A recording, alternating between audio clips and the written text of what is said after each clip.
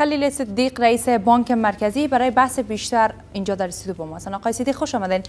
علت اساسی بلند رفتن قیمت دلار در مقابل ارز افغانی گذشته از تنش‌های سیاسی و مشکلات سیاسی و بعضی مشکلات دیگر در عرصه مالی در چی است؟ بسم الله الرحمن الرحیم. اول سلام به شما و همه بیننده بسیار محترم تلویزیون طلو ببینین اصلا ارزش هر پول یک کشور اساس تثبیت ارزشش مربوط با وضع اقتصادی از کشور است.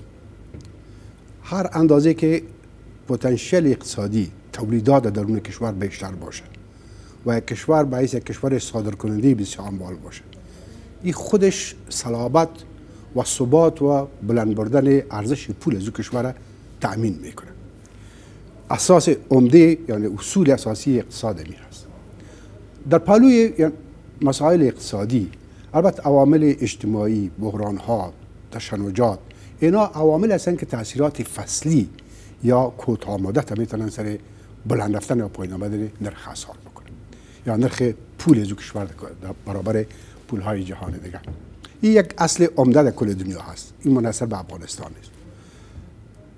مشکل افغانستان ما یک کشور وارداتی هستیم. یک تفاوت بسیار بزرگ یک خلای بزرگ بین ارزش واردات و ارزش صادرات کشور وجود داره. ما حدود ممکن حدود 90 فیصد کسر بیلانس تجارت داریم.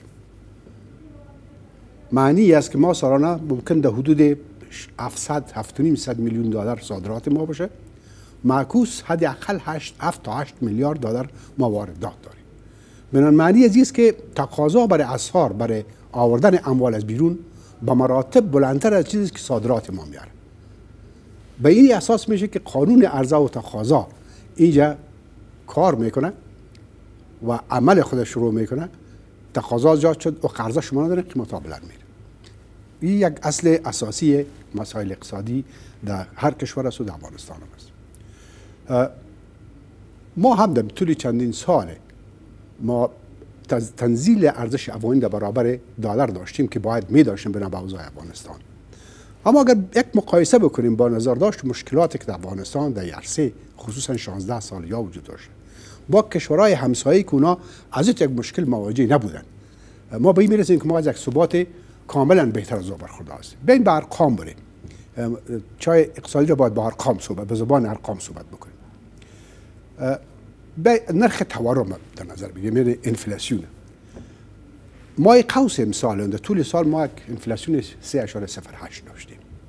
خب پیش از که به این جواب بپردازین آیا امین نرخ تورم که ما امسال داریم 3.08 این از لحاظ اقتصادی خوب است یا بد؟ آره برای شما عرض می‌کنم. هیچ کشور در جهان نیست که انفلاسیون صفر باشه. امکان پذیر نیست. اما معمولا در کشورهایی که مثل ما هست اگر شما انفلاسیون یک خانه ای دارین سنگل دیجیت می‌گیرین شما یک دو چهار پنج شش. این بیترین حالت هست. یعنی به نظر ما و از اقتصادان هم اگر ممکن دوستایی که اقتصاد می‌فهمن نام بشن در حالات افغانستان که شما 30 درصد رشد قیمت ها را دارید انفلاسیون دارید این حالت بسیار خوب است. یعنی ما در حالت بد قرار نداریم. ما تولید نداریم. ما و این انفلاسیون هم یک بخشش انفلاسیون وارداتی است. چون ما زیاد وارد بکنیم بنابراین اگر در کشورهایی که ما از وارد می‌کنیم قیمت ها بلند میره ما انفلاسیون هم در پاروی جنس وارد می‌کنیم قیمت بلند هم وارد می‌کنیم یا انفلاسیون هم وارد می‌کنیم. کشور همسایه ما پاکستان انفلاسیون دو 4.57 بود. در ایران 9.6 در هند 4.88 ترکیه 11.92 ما این کشورهای را به خاطر گفتم که زیادتر رابط اقتصادی ما به میاد داریم. ببینید اگر این مقایسه کنیم که اونها از لحاظ وضع اقتصادی به حالت بهتر از ما قرار دارن از لحاظ اجتماعی هم از لحاظ اوضاع. ما در حالت خوب هستیم. خب شما در هفته به خاطر که وقت بسیار کم داریم شما در هفته چند بار و چقدر دلار به بازار عرضه می‌کنین و این پول از کجا تدارک می‌کنین؟ ببینید ما فعلا در هفته سی روز لیلام احصار داریم. و این فرق می‌کنه که در هر مرتبه ما چقدر لیلام می‌کنیم. مثلا نظر به وضع بازار. ما به شما بگم مثلا ما در ماه قوس. ما قوس امسال 291 میلیون دلار فروختیم. در 18 روز ماه جدی 171 میلیون فروختیم. این مبلغ کم نیست. خب تقاضا اینجا وجود داره که باید ما زیاد بفروشیم. ببینید که از دوستای کال ماشین از صرافی گفتن که چون در پاکستان نرخ بلند رفته کلدار می دلار می‌خرن. ما مکلفت نداریم که کشور همسایه سبسیدی کنیم. و دلار بر از تهیه کنیم. این عادلانه خود بود. ما باید با ذخایر اساری خود کاملا با مسئولیت برخورد بکنیم دقیق برخورد بکنیم و یک حرف دیگر رو باید بگویم که پالیسی بانک مرکزی این نیست که نرخ دلار فکس نگاه کنه که اینی مبلغ یا 60 یا 70 یا 80 پالیسی ما ای هست که ما از تموجات لجام گسیخته و سریع اسعار اگه وجود به او را باید اجازه بدیم. ما از فروش اسعار به یک وسیله پولی استفاده بکنیم نه به خاطر از ما یک رقم داشته باشیم پیش بانک مرکزی که باید دلار از این بالا نره. تو حرفی خب این پول از کجا تدارک میشه؟ این با اواید داریم. این کمک های خارجی که میایه همش.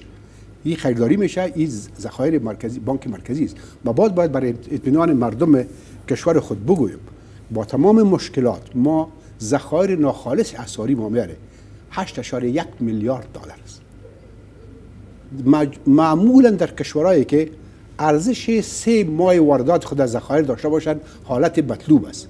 ما حدود یک سال ارزش واردات خود داریم. خب قسم که در گزارش گفتین شما ذخایر ارزی افغانستان ناخالص گفتین این به چی معناست؟ معنی است که اگر حسابات فرض کنید دولت پیشتان از بحث از پیش بکشید. درسته به خاطر که شما برای بانک مرکزی در وقت پیسه خود می‌گیرن شما اگر خالص بگیرید در حدود 7.3 7.4 میلیارد است که بالکل مربوط به افغانستان افغانستان بانک است. بنابراین ما از لحاظ ذخایر اساری و خود کاملا به حالت خوب هستیم و یک موضوع دیگر بگم که امی رشد قیمت دلار اینا یک موضوع فصلی هست مطلقا. عوامل مختلف داره. ما برای شما کنم یکی اخیر سال معمولا در اخیر سال چون مصارف بودجه بودجه باید یا بودجه انکشافی قراردادی هایی که وظایف انجام دادن پروژه ها را پیش بردن دولت مکلف است پولشان برشان بده. معمولا در اخیر سال داده میشه پول زیاد مبرای افغانی. این تاثیر خود داره. شک نیست که در دو ماه اوضاعی که در ایران آمد اوضاعی که در پاکستان از در پاکستان 6 فیصد کلدار در خود ارزش داده به قرار دلار. ما 4 فیصد هستیم. بنابراین ما تبیست که تقاضا برای دلار زیاد پیدا میشه. اما این فصلی هست. این موضوعی نیست که به دوامدار باشه.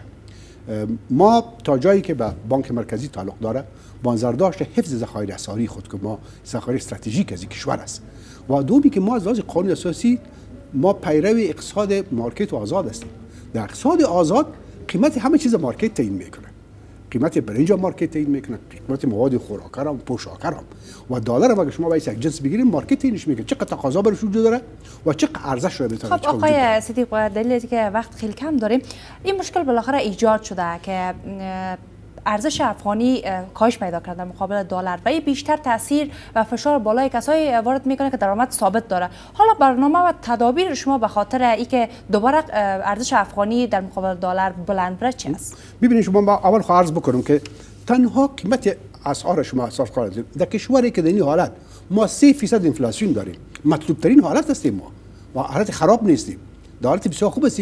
حالت نیست که مردم مسترب شوه تشویش بکنه ما وظیفه بانک مرکزی ثبات قیم است که او امین انفلاسیون خیلی وقت کم داریم. بنان انفلاسیون در حالت خوبی خود قرار داره.